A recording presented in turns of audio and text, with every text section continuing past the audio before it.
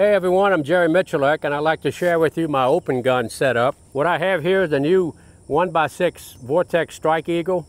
It's got a BDC reticle. It's on a second focal plane or the rear focal plane. So that means the BDC reticle is only correct when it's on the highest magnification. So, just want to remember that. Huge field of view, by the way, about 117 feet at 100 yards.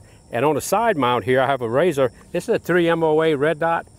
The reason I chose a three minute, I wanted to have it precision enough if I need to back up my scope. So I sight them both in at 200 yards and I know the holdovers and the, and the hold under is at close range. So everything I need is right here for a very fast transition.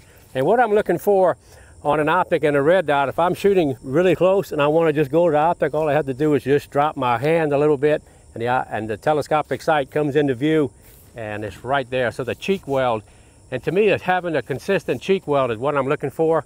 I've seen guys with the red dots on top of their scope but you don't have that repeatability at speed. So I'm looking for everything speed oriented and I want consistency. So the cheek weld to me is very important that when I go from one to the other, I don't have to move my face. All I have to move is my hand. So fast setup, of course, Vortex lifetime warranty. Kind of give you an idea what we're going to do here.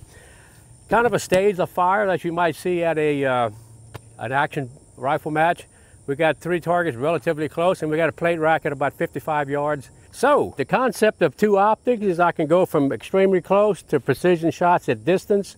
Uh, if you have a division that you can use two optics, I do recommend it. Or if you want a hunting gun or just a practical rifle, to keep around, uh, it's the perfect combination. I'll give you an idea how it works. So on the timer here, a lot of action matches, you have to actually pick your firearm up. So I have it staged on a table, it's loaded, safety on. When the timer comes on, gives me the beep, I'm gonna shoot two on each of the head boxes, transition over to the plate rack, and run the plate racks and see what it sounds like.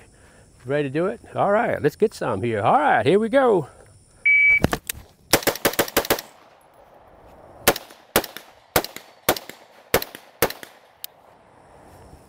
There you have it, guys. Fast or slow, close and accurate, all in one food group. Get some.